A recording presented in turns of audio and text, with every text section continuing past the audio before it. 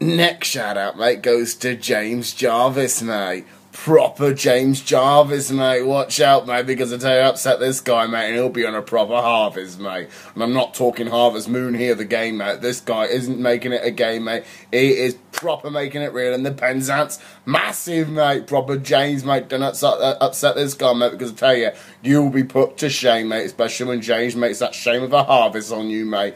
Do not mess with James Harvest Jarvis Moon, mate. He is a proper Penzance gangster, mate. So decent shout for you, James Jarvis, mate. We're not Jarvis, mate. We're not Harvest. He's proper Carvis, mate, whatever that means, mate. But proper decent shout for you, bye, innit?